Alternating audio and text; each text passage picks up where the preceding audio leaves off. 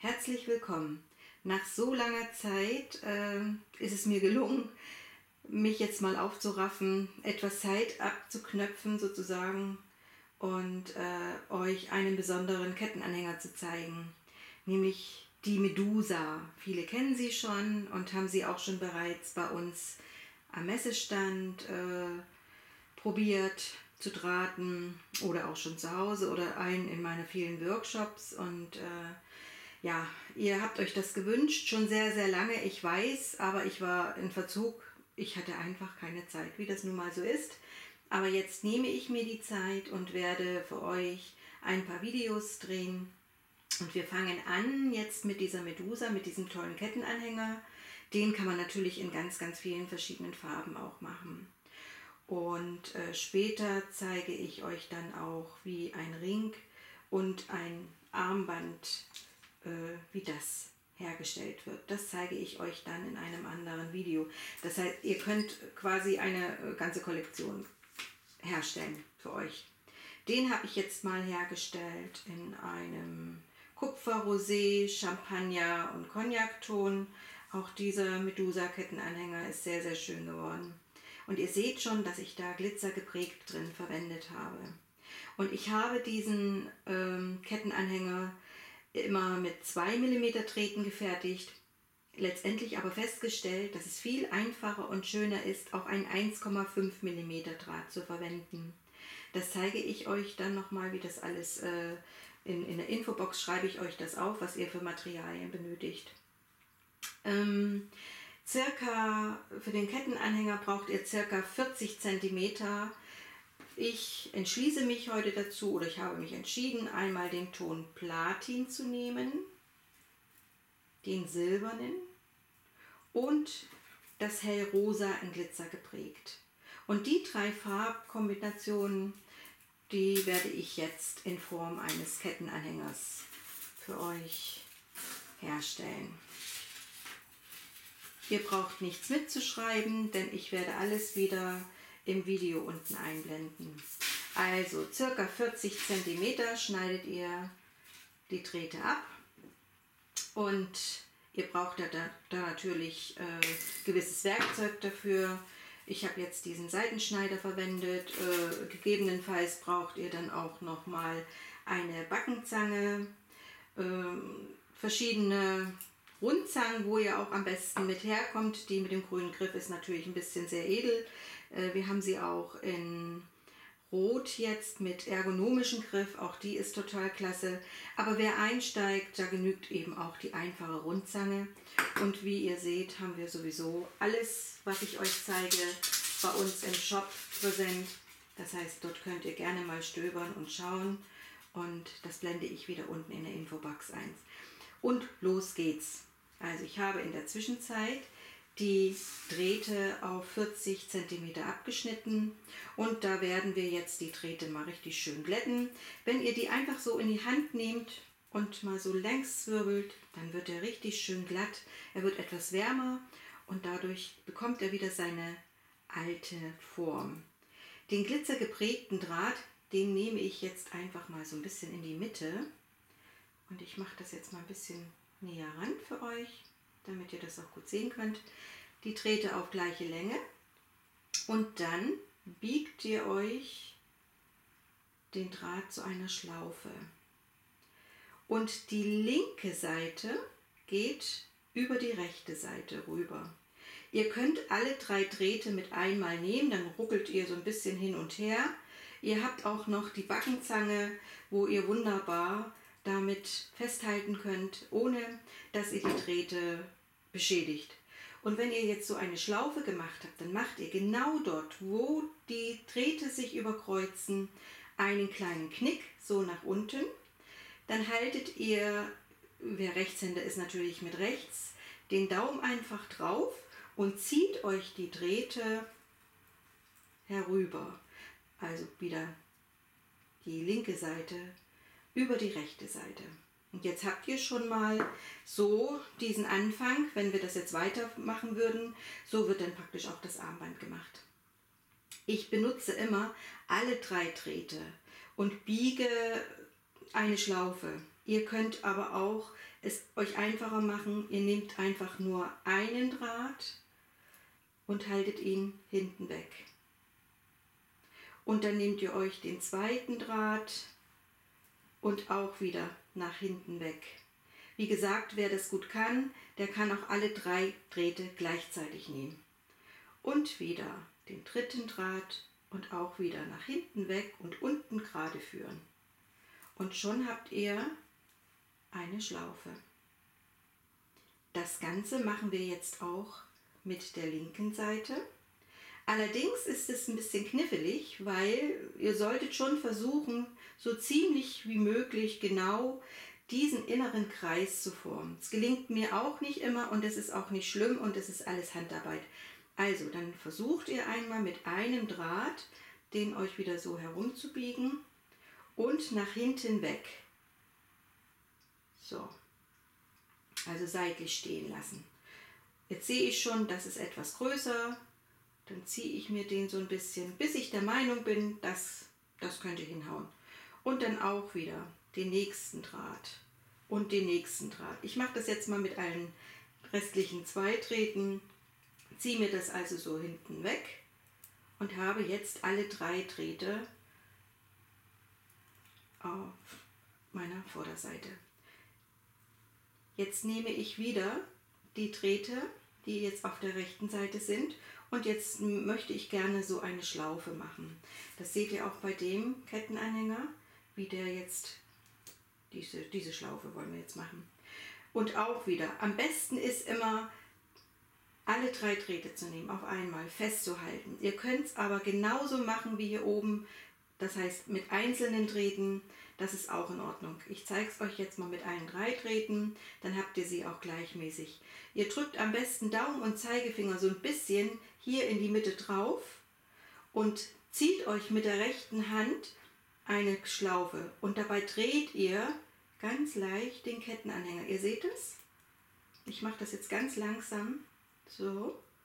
Und dreht euch die Schlaufe. Im Prinzip haltet ihr nur die drei Drähte fest und dreht einfach den Kettenanhänger. Und fertig ist er. Jetzt wird auf gleiche Länge geschnitten. Manchmal kann man sich natürlich auch ein bisschen verschätzen, dann ist der eine Draht ein bisschen kürzer, die anderen ein bisschen länger.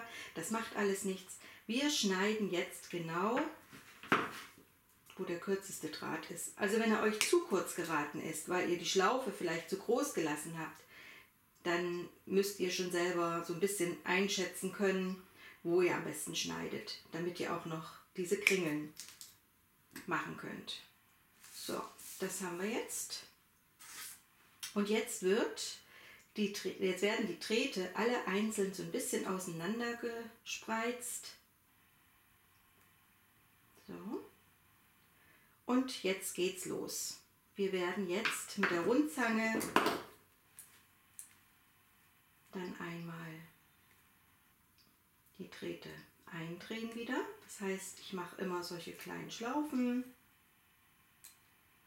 Und jetzt müssen die anderen Schlaufen ja auf die andere Seite. Jetzt verbiegen sich viele.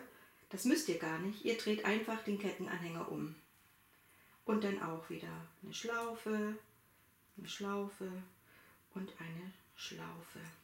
Hier seht ihr das wieder am besten bei diesen, dass der so ein bisschen ja gerade runter geht. Deswegen schneide ich die auch immer, damit man es wirklich auch schön rund bekommt. Also das erste Stück wird immer abgeschnitten, umdrehen, so dass ihr immer in eine Richtung arbeitet.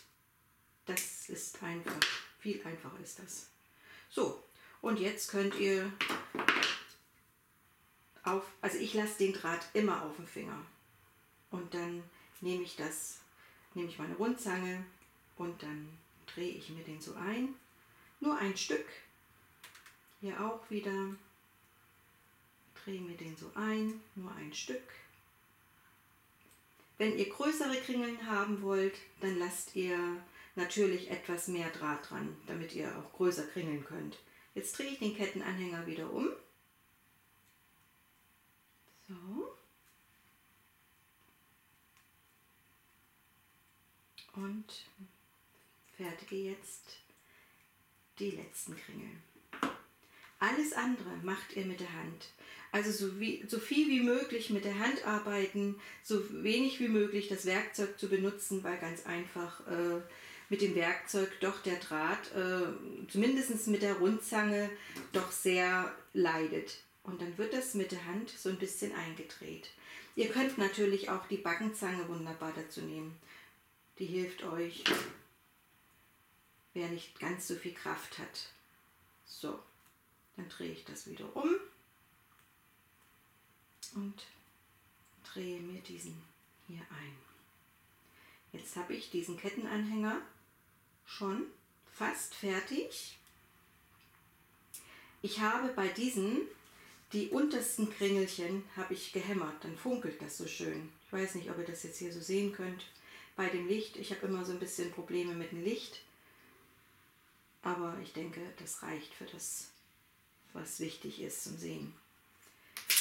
Dann nehme ich jetzt äh, meinen kleinen Amboss und meinen Ziselierhammer. Wen das zu laut ist, der darf sich gerne eine Unterlage drunter bauen oder wir haben auch diese äh, Ambosse mit einer Gummiunterlage, also von daher sollte das nicht das Problem sein. So, und dann lege ich den mit der linken Seite drauf, weil ich möchte gerne den Hammerschlag haben. Also nicht den Hammerschlag, sondern eher dieses, dieses äh, glatte, schöne, funkelnde. Wer Hammerschlag haben möchte, der nimmt wieder diese kleine. Also auf links. Und wenn ihr hämmert, passt bitte auf, dass ihr, wenn die Drähte übereinander liegen, dann dürft ihr das natürlich da nicht hämmern.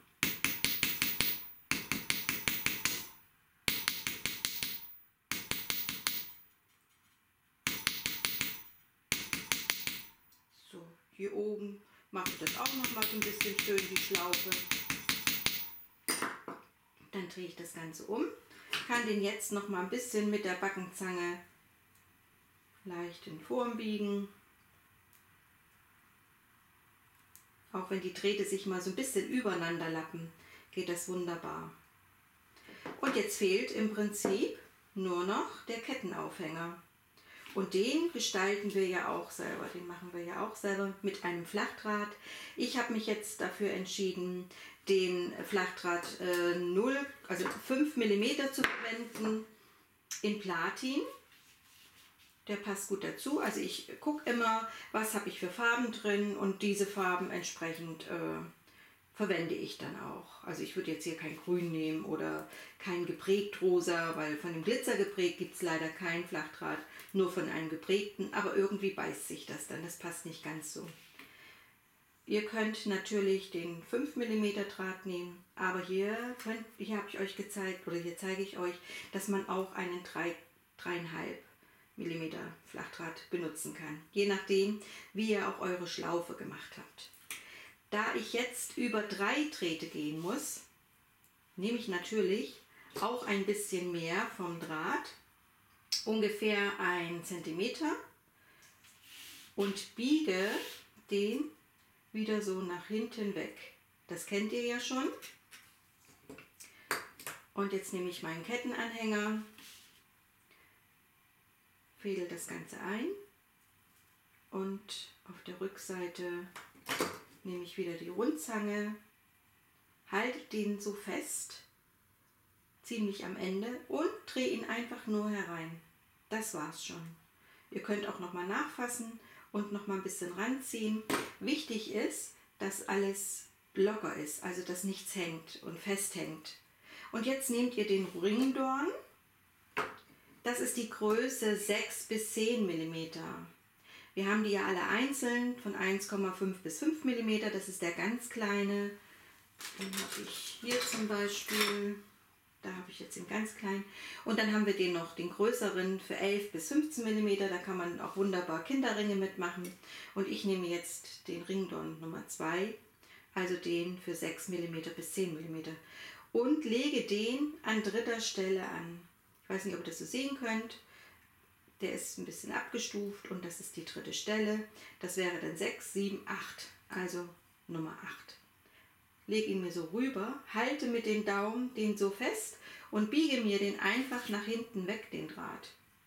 Dann kann ich das wunderbar rausziehen. Ihr seht schon, wie die Schlaufe jetzt so ein bisschen an der Seite aussieht.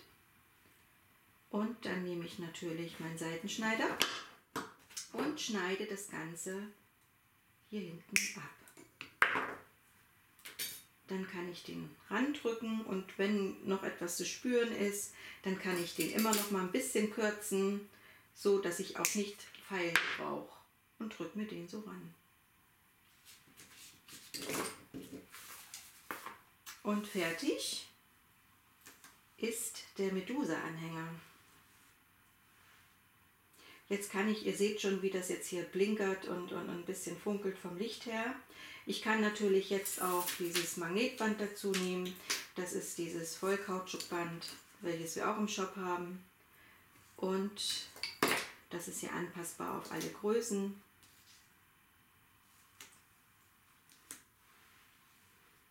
Und habe jetzt einen tollen Kettenanhänger. Ich hoffe, es hat euch Spaß gemacht und ihr probiert jetzt fleißig. Ich wünsche euch ganz, ganz viel Freude damit und gutes Gelingen. Und demnächst werde ich dann einmal diesen Ring zeigen, wie der funktioniert.